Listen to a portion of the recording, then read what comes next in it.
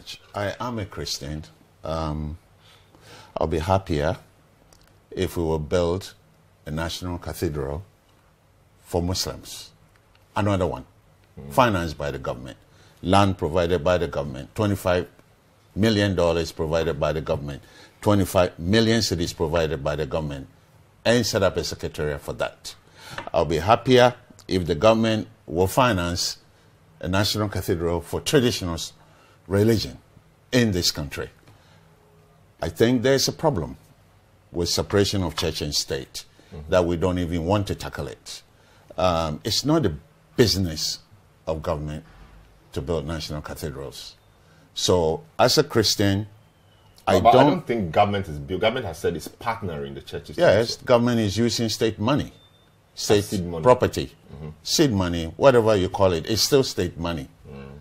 This is where the cross of the matter is. You said you're going to build a cathedral to honor God for making you who you have become. That shouldn't be the concern of Ghanaians. That should be the concern of the presidency. I'm not sure the president said so in, in, in exact same ways you put it. Well, I mean. I'm summarizing what he said.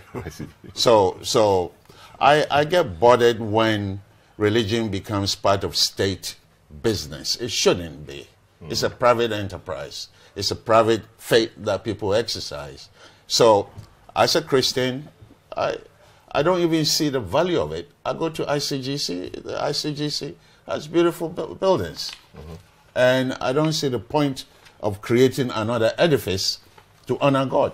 Mm. When in many one. a national one, mm -hmm. in many places when some of these edifices are actually being turned into nightclubs mm. and, and, and hotels. So I, I have a, a big concern when you you you just oppose that against the problems of this country. Even if the decision was made in 2017, mm we didn't have COVID then. Mm. So that the, the stresses, the extra st stresses on our economy were not there. So maybe at that time it was okay. People probably would not have paid so much attention to it mm. as they are doing now. But here we are. Very, very soon, we're going to put about 450,000 new graduates into the system. There are no jobs. There are no factories. Mm. If the president was going to take $25 million to support industry, manufacturing bases in this country, I'll be very happy.